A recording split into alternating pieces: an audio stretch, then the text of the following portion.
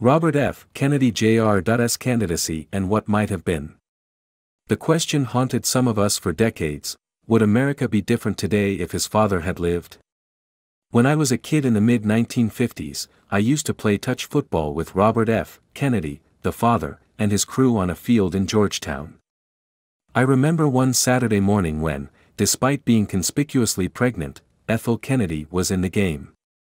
She lined up as a wide receiver, Bobby, as usual, was captain and quarterback. Ethel faked right, then cut to the inside, and her husband threw her a perfect spiral. She bobbled it, the ball doing a little dance in midair for a second, and then she dropped it. Bobby, infuriated, cussed her out. The baby in Ethel's womb that morning was Robert F. Kennedy Jr. For me, Bobby Jr. seems to float in the interval between then and now, dislocated in time.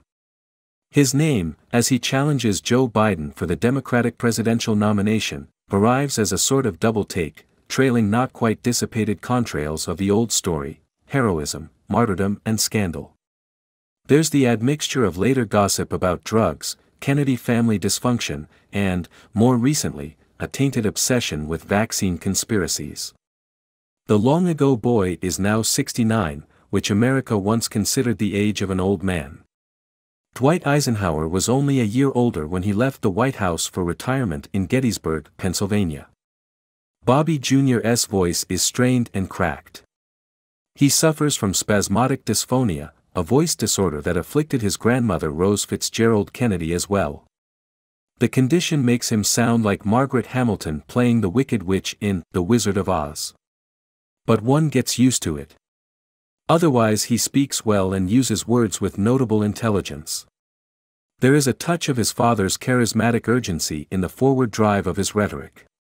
He has the face of a man in late middle age, with grooves like parentheses on either side of the mouth. When he talks, his face looks now and then like Norman Mailer's, intensity in the eyes, perhaps, an air of prophecy, the ancient mariner. His hair doesn't flop forward, the way his boyish father's did, but flows straight back from his forehead. Would I vote for him? I wouldn't vote for Joe Biden, Kamala Harris or Donald Trump. Mr. Kennedy's still unreal candidacy takes sly advantage of this disconsolate process of elimination. Even allowing for the touch of nuttiness, I would give him respectful attention. Right now, the 2024 presidential election is at the stage of what in 1939, after Hitler's invasion of Poland, they called the phony war. Over the summer, the reality of 2024 will start to emerge from the mist. The current disillusion feels familiar. In the 1970s, after assassinations, abdications and Vietnam, a pessimism about the American future descended.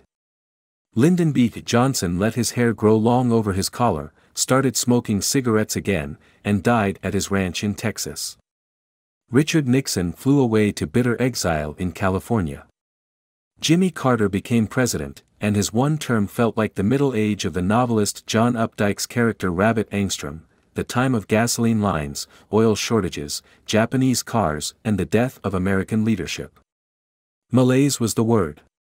In those days, a question would haunt some of us, an old ghost, what if RFK had lived? He could have been elected president in 1968 instead of Nixon he could have gone on to re-election in 1972. The country might have been different. What would have happened in Vietnam? We used to ask that. There would have been no Watergate, no Ford, no Carter and arguably no Reagan. The what if pops up again in 2023 in the context of Bobby Jr.'s candidacy. Some Americans, hearing the name again, momentarily toy with the fantasy of the father's story resumed in the sun. The notion seems idle, unreal. But name recognition, an involuntary reflex, can be powerful. I think of the 2020s now and then as a surreal extension of the 1960s, as if the 1960s had grown old and corrupt, the baby boom's great adventure played out at last. These are the 60s bereft of their naivete and idealism. The 21st century's sense of catastrophe is more fantastical, elaborate and paradoxical than the one we knew in the 60s. The country struggles today with its surreal identity crises and conspiracy theories, the most vivid of them being artificial intelligence, which schemes to supplant the faltering human mind and take over the world. There's an Alice in Wonderland weirdness about all this, a sense not only of decline but of inverted reality, as if Americans had chosen dementia, compounded by mediocrity, as their preferred lifestyle. Or maybe the 21st century's spiritual disturbance is mostly a media hysteria, a tremendous metaphysical imposture of the screens.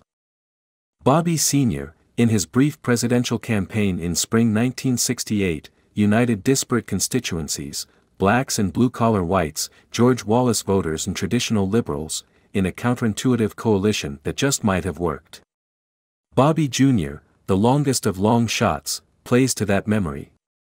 The tribal Kennedys have always made their way forward by repeating Jack's inaugural metaphor, now flickering and a little threadbare, the torch has passed to a new generation.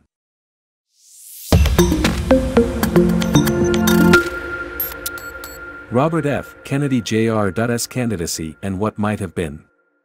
The question haunted some of us for decades, would America be different today if his father had lived? When I was a kid in the mid-1950s, I used to play touch football with Robert F. Kennedy, the father, and his crew on a field in Georgetown. I remember one Saturday morning when, despite being conspicuously pregnant, Ethel Kennedy was in the game. Three reasons were stuck with Trump and Biden. If 2016 was the most important election in our lifetimes, 2024 is shaping up to be the most dispiriting. We appear to be heading for a rematch between Joe Biden and Donald Trump that almost no one wants except the candidates. In an April NBC poll, nearly two-thirds of voters said they did not think Trump should run for president again, and more than two-thirds said the same thing about Biden, in large part because they think he's too old. How did a once great nation end up facing an election between two very old, very unpopular white dudes? I can sketch out the proximate causes. On the Republican side, just as in 2016, a massive primary field is splitting the votes of the moderates, giving Trump plenty of room to consolidate his ultramaga minority. Democrats, meanwhile, have no good options as long as the vice presidency is occupied by the hapless Kamala D. Harris, whose impolitic blurtings, inability to hold staff and tendency to choke under pressure make her an even less appealing candidate than her boss. Every Democratic operative I've asked blanched at the thought of running her, and also agreed that for reasons of coalition management, she cannot be pushed aside. Yet that only describes the problem, it does not explain why we seem stuck with two broadly disliked candidates, one already in his 80s and the other turning 78 before Election Day 2024. Nor does it explain America's broader problem of political gerontocracy, as embodied by Senator Dianne Feinstein, Democrat California, who seems too cognitively impaired to fully carry out her duties or to realize she ought to retire. First, there's the fact that American politics rewards name